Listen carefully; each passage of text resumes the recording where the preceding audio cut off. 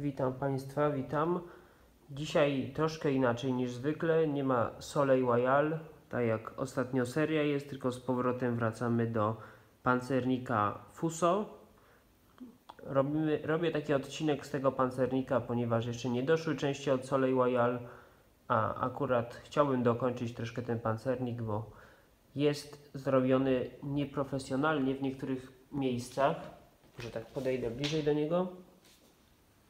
Szczególnie chodzi mi o takie nierówności na pokładzie, też jakieś takie krzywe bariereczki. Chciałbym tego uniknąć generalnie. I takich zacieków od, od szpachli. Tego też chciałbym uniknąć. Oprócz tego też brakuje kilku szczegółów na kokpicie, które muszę dołożyć. Mam na myśli takie belki podtrzymujące i no generalnie ten kokpit jest lekko nierówny. Trzeba to po prostu zmienić. Też osłony na te karabiny maszynowe, działka przeciwlotnicze raczej. Generalnie nawet sam, samo pokrycie kadłuba ma, jest nierówne, ma takie dziurki nieraz. Trzeba to po prostu zaszpaklować, wyszlifować, jeszcze raz pomalować. No oprócz tego dodamy dźwigi dodatkowe na wieży numer 3 Trzeba dodać reflektory na kominie oraz też jakieś stanowiska karabinów maszynowych. Też pokład przy okazji chciałbym zmienić, bo od tych desek tak nie widać. Muszę odbić jakąś kalkę i po prostu odmalować te deski jakoś lepiej. Trzeba dodać też olinowanie dodatkowo na całym statku. Jakieś flagi sygnalizacyjne i zwykłe bandery no i też wiele innych różnych szczegółów. Trzeba podmalować śruby i też dorobić kilka innych ciekawych rzeczy. Generalnie statek jest wyszedł ok, można powiedzieć tak, że wyszedł ok. No, aczkolwiek wymaga jeszcze troszkę wkładu pracy. Nie wygląda jeszcze idealnie jak, jak powinien wyglądać, ale to wszystko da się zrobić że będzie lepiej. Jak przyjdzie, kolejne części przyjdą Soleil Royal, no to oczywiście jeszcze kontynuujemy tamtą serię z budowy tego galeonu pięknego. No, aczkolwiek teraz jeszcze sobie dokończymy pancernik Fuso. Teraz zapraszam na szybki pokaz slajdów. Jeszcze po pokazie slajdów tutaj skomentuję.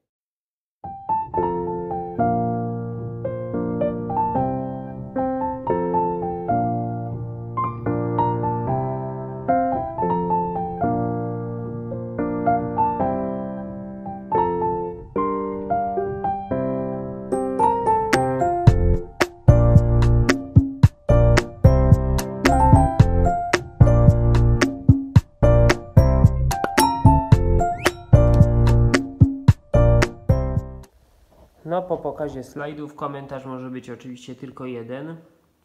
Gdyby człowiek wcześniej wiedział, że jest takie coś jak to PCW, ten plasticzek, ten się w ogóle nie babrał z tym całym kartonem i papierem, tylko bym po prostu wszystkie części wycinał z tego plastiku i byłoby luksusowo.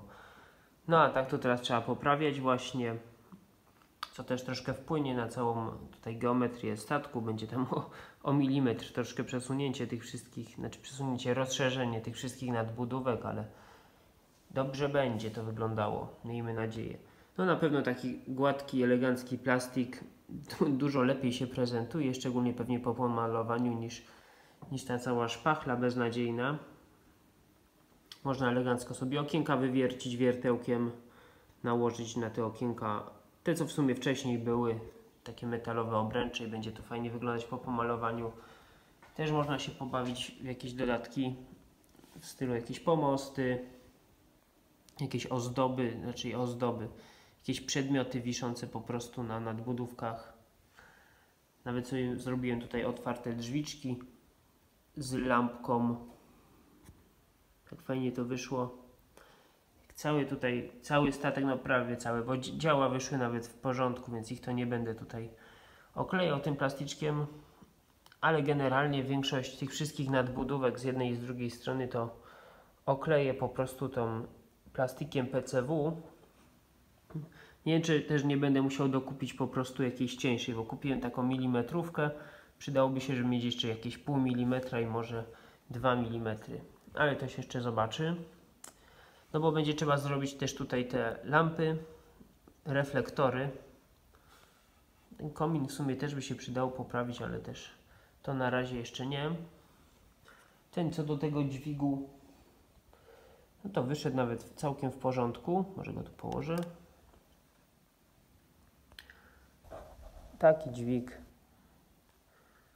Jak widzimy na przykład na tutaj na zdjęciu, no to ten dźwig tam się pojawia na tym dziale numer 3 ewidentnie. Więc szkoda, żeby go nie było. Więc tutaj też go przygotowałem, dałem takie linki bo w końcu to jest tak naprawdę wyrzutnia tych samolotów. No i taki pomost dla załogi. Zrobię tutaj takie podpory na to. Te armatki przeciwlotnicze muszę stąd usunąć muszę je stąd usunąć przeniosę je w jakieś inne miejsce albo w ogóle ich nie będzie. Ale raczej je przeniosę, bo szkoda takich dwóch ładnych armatek nie mieć. I po prostu w tym miejscu będzie dźwig na tej wieży. Jakbym kiedyś znalazł jakieś samoloty 1 do 200 w skali, oczywiście japońskie, no to to je dołożę tutaj i na tym tylnym dźwigu. Więc statek będzie miał dwa dźwigi, to już jak jakiś lotniskowiec będzie. No, a teraz jeszcze należałoby tutaj z tyłu tej nadbudówki popracować, tylko z tą nadbudówką, no to największy strach jest, bo ona jest taka filigranowa, można powiedzieć. Nie chcę jej spieprzyć bardziej. Wolałbym, żeby była lepsza. Też tą osłonę armaty muszę poprawić, bo tutaj wystaje ten papier. O, są takie dziury, to nie podoba mi się to. E, no i tutaj to, to też z tymi całymi moimi metalami, takie robione fuszersko. Też to zamienię, zrobię elegancko z tego plasticzku, wstawię, tam będzie wyglądało lepiej.